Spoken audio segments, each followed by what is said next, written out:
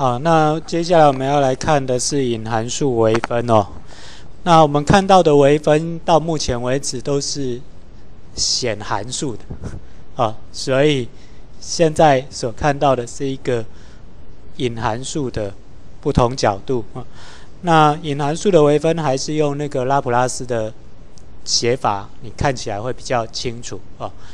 那我们来看一下例子，譬如说，我们知道一个方程式 s 平方减 sy 减 y 平方等于一。但是我们想求出 ds 分之 dy，那一种做法是你把它转成显函数，然后再来求。怎么转呢？就是先把 y 都放一边，s 放一边，然后该除的除，该乘的乘，然后最后呢，你就可以转成像这个样子，对不对？y(s) 等 y of s 等于二分之一负 s 加减。根号五 s 平方减四，呃，那当你转成这种形式之后，你再去求解，那你一定会觉得这不好解吧？有个人觉得这样很好解，啊，这样一定不好解，对不对？你这样去求求它的 y prime，啊，从这里求这个是 OK 的啦，但是你就要这里又要代换成，哎 u 对不对？啊，那 u 是什么？假设 u 就是。u 就是五 s 平方减四，那这边就变根号 u，OK，然后再去用链锁规则再去做做几次哦，然后就会出来。但是这样子做有时候不好解。那如果我们用隐函数微分，往往这个就变得简单很多。什么叫隐函数微分呢？我们先看一下，我把这个等式两边呢都直接微分了。啊，对什么微分？对 s 微分好了啊。所以呢，我这样子想算 ds 分之 dy 的话，我就把这一个算是整个对 s 微分。这个一呢，当然也就对 s 微分。一的微分是多少？零嘛，常数的微分都是零，所以这边变零。那这边呢？s 平方的微分不就二 s 吗？那 xy 的微分呢？啊，fg 的微分就是 f。plus g 加上 g plus f，对不对？所以 f plus g，OK，s 的微分一哦，那 y 的微分哦，y 的诶 s 的微分乘以 y，对不对？s 的微分一啊，一乘 y 就 y 啊，然后这边呢加上 f plus g，诶 f plus g 加 g plus f 啊，然后或者是 f g plus 哦，f f。这 s 就是 f 啊，g prime 就是 y 的微分，就 y prime 啊。那 y prime 在这里，我们我们把它写成莱布尼兹写法会比较好哦，因为等一下还要移项啊。所以呢，我 y prime 我写成 ds 分之 dy。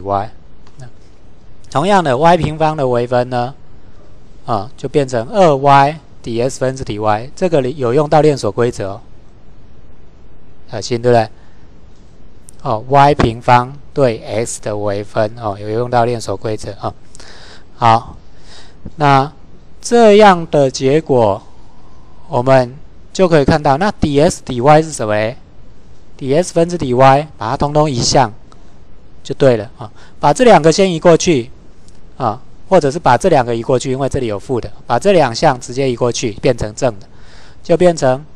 ds 分之 dy 乘以 s 加二 y，s 加二 y 啊，移过去变 s 加二 y，那这边还是二 s 减 y，把那个 s 加二 y 呢再除回来，就只剩一边只剩 ds 分之 dy，另外一边变成 s 加二 y 分之二 s 减 y。好，那这样我们就做完了我们想知道的 ds 分之 dy 就是 y plus，是不是比较简单？虽然那里面有含 y 式，但是呢，看起来很干净，对不对？啊，那这边呢没有含 y 式，但是看起来很复杂。啊，所以这种有含 y 式的，那你如果真的要把它转成全 x 式怎么办？把 y 带进去，把 y 这个东西真的给它带进去，就变成全 x 式了。啊，把 y 真的带进去就变全 x 式，就变成这样，跟刚刚会是一样。OK，那这种方法就称为隐含式的微分，也就是说，我直接对方程式微分了，不需要再不需要再再转换把 y 变成 x 的某个函数再去微分，直接对整个方程式微分就好了。好，好，那其实我会觉得写成这种形式比较好了，写成这种形式够简单啊，啊，你要带自己再去带 y 就好。啊，写成这样的话，反而我就看不懂了，啊，不好，不好看了。好，那呃，隐函数的微分其实可以举很多例子了哦。那我们有空再出个习题好了，待会啊，有空再出个习题，请各位去做隐函数微分的习题。那现在我们先来看一下，呃，极大极小值的概念哈。那这个就比较简单了，以函数为分算是这一章最难的了。那接下来就比较简单，极大极小值应该各位高中都学过了啊。f 普朗等于零的时候呢，会有相对极大值或相对极小值嘛？那你可以看到，f 普朗等于零的时候，就是那个切线斜率为零，切线斜率为零，那要么就是极大值，要么就是极小值。那这个东西在哦，也有可能哦，也有可能不是极大值，也不是极小值，像这个 s 三次方的情况。那所以一次切线就是一次微分的斜率为零的话，可能是极大值、极小值，或者是水平站态啊。但是二次微分，如果一次微分为零，二次微分为正的话，那应该就是极小值；二次微分为负的话，应该极大值啊。好，所以呢，呃，这边啊就可以看到。如果今天函数是连续而且可为的哦，那我们说可为的，像角是不可为的，有些角路，呃，像那个绝对值，那是有角的就不可为。那我们说，如果是连续可为的话，那我们就可以用一阶导数来测试极点的特性啊。如果一阶导数是零，那要么就是极小值，要么就是极大值，不然的话呢，就是像刚刚那个弯曲点。啊，弯曲点，像这个是弯曲点，它虽然斜率是零，但是它不是极大，也不是极小。好，那如果我们再用二阶导数去测试极点的特性，那你会发现说，OK，那如果哎二阶导数是小于零啊，而且一阶导数是零的话呢，那这个是凹向小二阶导数是小于零，是凹向下，所以就有相对极大值啊。如果是大于零呢，变凹向上，就有相对极小值。那如果是等于零呢，就测试失效，就没有办法判定到底有没有极值。好，那这里我们就就看完了今天到这边的第二章的所有内容啊。那数值微分的部分，我想我我看一下现在几点。哎，十一点三十一分，好，那我们还来得及把数值微分也讲了。好，各位 C 语言学的怎么样了？好，如果你觉得你 C 语言学的不错哈，那请你写写看数值微分的程式。好，那我们来看一下。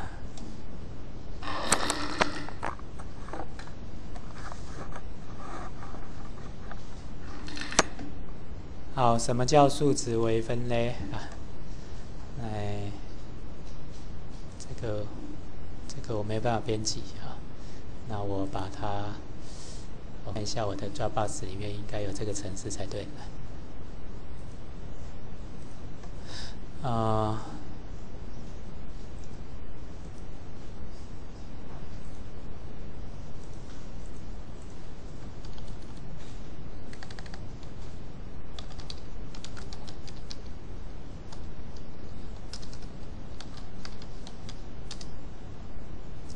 好，OK，有，不过它的编码怪怪的，来，稍微把编码设定一下。编码，哎，编码在哪？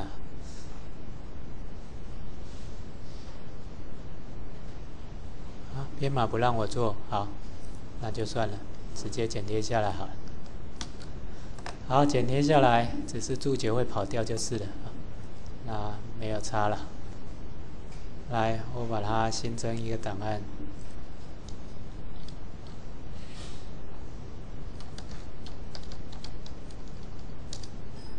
啊，叫 diff 点 c 哈，那这是微分，好，然后开启一下，你你们用 diff c 加加嘛，是不是？OK，那其实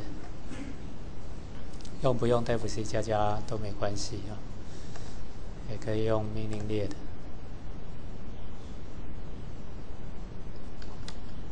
哇，怎么这么大字啊？啊，啊，它这个注解乱掉了，就把它砍掉了。啊，这是一个很简单、很简单的程式哦，其实没有几行，二十二行。OK，好，那我们把它储存一下。啊，那各位，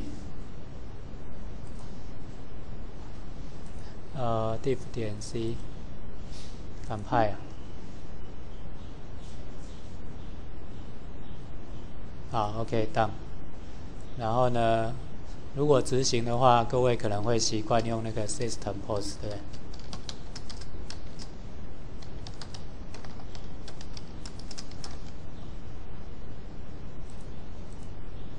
很快啊！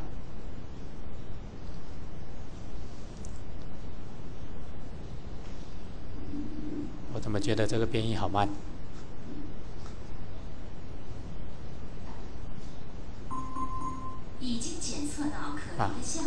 难怪被防火墙挡住了，不要被防毒软体挡了，难怪很慢。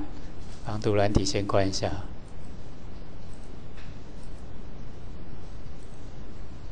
哎，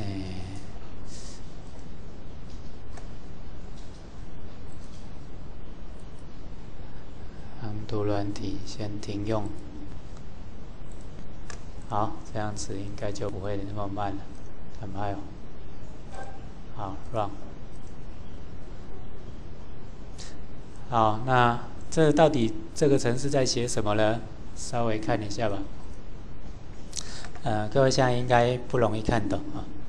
来，我们看一下。啊，主要在这里啊，这是一个微分的函数。微分的函数怎么做呢？你传一个函数指标给他。函数指标，函数指标这个函数指标的形态叫做 double 星号 f1，这代表是一个函数指标。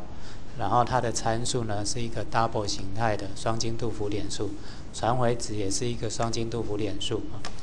那我我传这样一个 f 给它，我去计算 f(s) 加 ds 减掉 f(s)。这个 ds 是多少呢？ds 是一个很小的值，在我们这边我们设零点零零零一，所以是一个很小的值。那什么叫微分呢？就是把 fs 加 ds 减掉 fs 的值除以 ds，也就是 dy 了，dy 除以 ds，这就是微分。好，那那于是呢，我们给任何一个函数哦，任何一个函数，我们都可以都可以算它的。微分，举个例子，我们用这个修 diff，啊，这个只是把刚刚的函数，啊，把函数呼叫一遍，而且把微分也呼叫一遍，啊，把函数呼叫一遍，把微分呼叫一遍，然后它就会印出函数在那一点的值，还有微分在那一点的值，好，那所以以这个例子我们看，我们算 sin 这个函数，sin 这个函数。那算它在三分之拍的时候的值，还有在三分之拍的微分的值，好，那我们算出来的结果呢？你就看到 sin 这个函数在三分之拍，啊，三分之拍就是一点零四七一九八的值是零点八六六零二五，然后呢，它的微分。啊，在这一点上的微分呢，会是零点四九九九五七。好，那你可以想一想，sin 三分之派多少？sin 三分之派就是 sin 六十度，对不对？sin 六十度多少？我真的忘了。二分之根号三吗？是吧？二分之根号三，那根号三是多少？一点七几？对不对，啊，那二分之根号三大概零点八几，没错啊，哦，对吧？OK，那 sin 的微分是什么？cosine，cosine 的三分之派多少？cosine 的三分之派应该二分之一吧？它这个是不是很接近二分之一？零点五嘛，对不对？是是九九九九，是九九九，对，所以接近零点五。如果四舍五入就变，就说从小数底下第二位四舍五入或第三位四舍五入就会变零点五零了，对，好，OK，所以呢，它是对的。好，这个程式怎么写？好，有兴趣看一下，我把它放上去。到课程社团里面哦。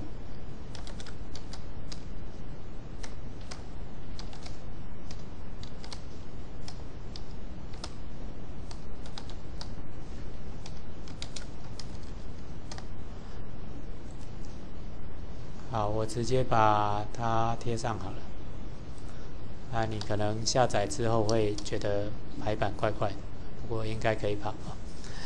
那如果想要原始的城市，就网址给各位，试着去执行看看吧。然后，如果你这个城市看得懂，代表说你的 C 语言的呃程度应该还不错了。